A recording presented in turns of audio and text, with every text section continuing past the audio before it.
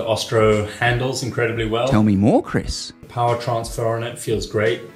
Nailed it.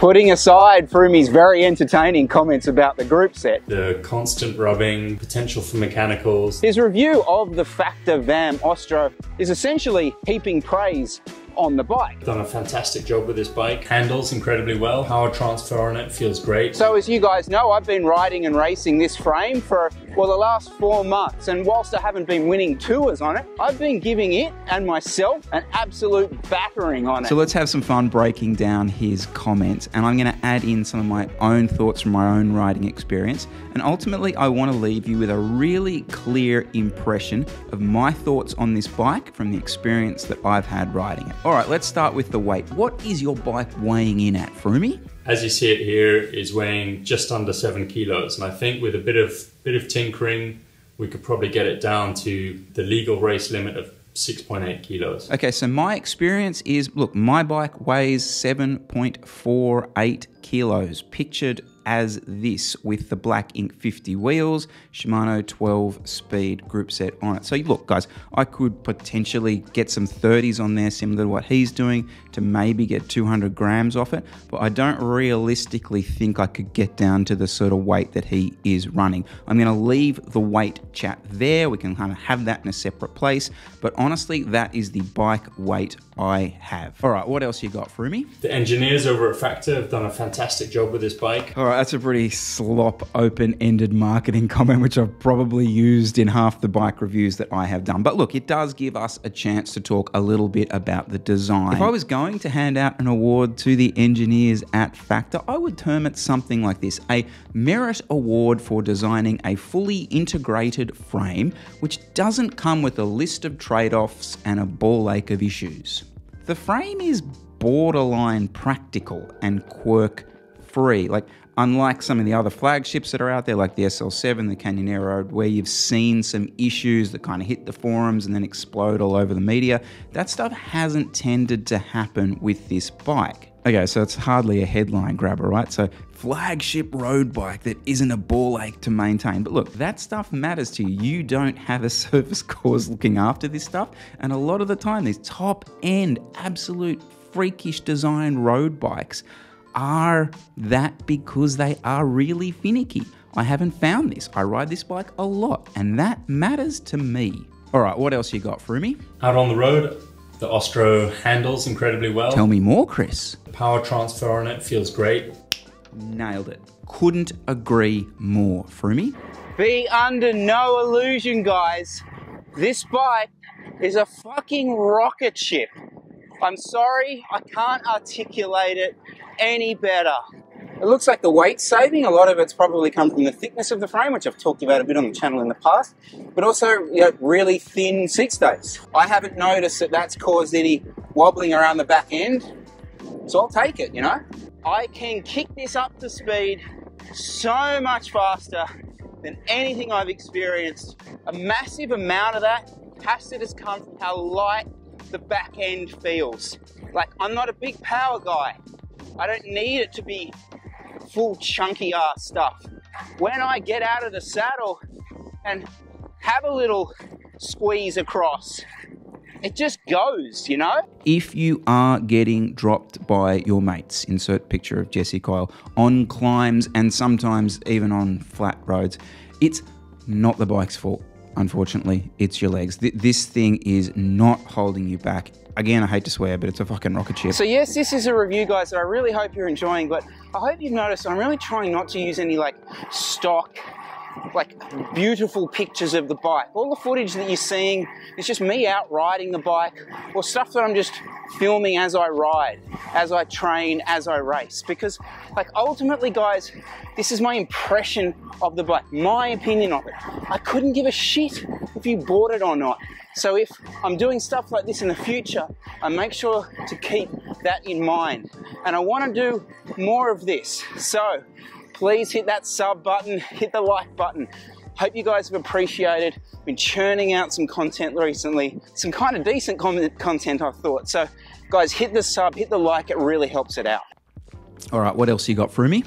The Ostro handles incredibly well. I love the straight lines. Not surprised he's saying that, given his bike history. I mean, for probably a decade, he was riding the curviest bike on the market, the Pinarello. Coming to this, it's very much straight lines. I haven't found that because I've come from a very straight lined bike on the Devel, but it does give us a chance to talk about the geometry and, the most important thing, the aesthetics of the bike.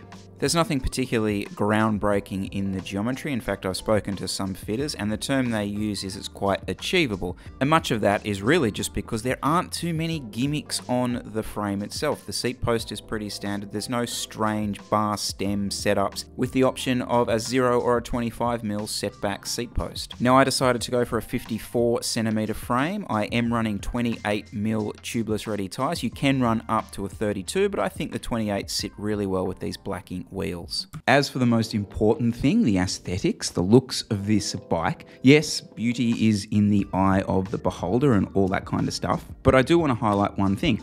I love the way it looks when you are riding it. Get on this bike, got this like matte mirror finish on it. Yes, got this little like carve out down the top tube, sort of sinks into the handlebars. You got the bowed out forks. Like it really does look cool when you are on it. And that matters because then you just want to be sitting on it. And that's that's a good thing, right? So look, as far as I am concerned, it ticks the boxes. It definitely ticks the cafe. There's my bike box. It likes the Insta box and it very much likes the selfie box. So up to now, I've been pretty much positive on Froomey's review. I think we can all agree it was an absolute breath of fresh air and probably one of the most entertaining things I saw on YouTube last year. If you're not on disc brakes already, it's only a matter of time until you're, you're made obsolete in a way and forced onto that. And I would like to think at this point you guys are getting a pretty positive vibe about my impressions of the bike. But there's obviously one subject that Froomey didn't discuss because it probably never occurred to him to discuss it. But that is the value of the bike. The is this worth it for that money. Every single person watching this video will have a different experience of that. You'll have different disposable incomes. You'll have different priorities in life. You'll be at different stages in life. For like one look at the $40,000 bike video from the other week, it's very clear that what people are willing to spend or think about spending on a bike changes and gets very opinionated very quickly. But what we can do is we can definitely compare it to what are its competitors in its price range as it stands. I would argue the direct competition for this bike, given a similar build, would be a Cervelo S5 for around $13,000, an S-Works Tarmac SL7 for around 14,15, and a Canyon Aeroad for around $11,000, $12,000, which is just a hell of a lot of money. But the thing is, it's buying you a very similar bike. All those four bikes are very comparable to each other performance-wise. So this is just where you have to lean on your local distributor. What can they get their hands on? What is what's doing it for you? Because ultimately the performance difference here, guys, is negligible. Now there is a reason I didn't include any of the off-the-shelf like Chinese frames like the Winspace and stuff like that. There's two reasons, okay? The first is I honestly think that if you are in the market for a Factor Ostro VAM, you're probably not also considering a Winspace. That's probably not the two that you're tossing up between. And the second is something that I have a hell of a lot of experience in, and it's something I can do standalone stuff on again if you want me to talk about it. And that is this. The production of these two frames is essentially quite similar. I'm not going to go too much into it, but I know the factory where this frame came from, right? And it's very close to some of the frames that I've ridden to in the past. That does not mean they are the same frame. The big difference happens before that. The big difference is R and D. What that means to you, what that means to your riding experience, etc., uh, is the million dollar question. But that is the reason a lot of the times between the prices. I like this bike, I'm going to keep riding it, I'm going to keep racing it. But between you and me, all right, if someone came along to me and said, Chris, do you want to try an S5 or, you know, a Trek Madone or something? I'd be like, yeah, cool, let's do it. And that's not like, you know, oh, YouTube. That's me like, I have no allegiance, no emotional attachment to this bike. The reason for that is like the brand factor, I don't care. Like, they just make bikes. As far as I'm concerned, they make carbon things that I sit on to ride. You know, I look back at my Bianchi. I had an emotional attachment to that. I look back at my Legend. I had an emotional attachment to that. Loved that bike. I was connected to it. I have no connection to this bike. And that's mostly because of the brand. I couldn't give a shit. Great bike, love it. Gonna keep racing it, but no attachment. And the reason I finish with that is I love this bike. I want you to come away with a positive impression of this bike.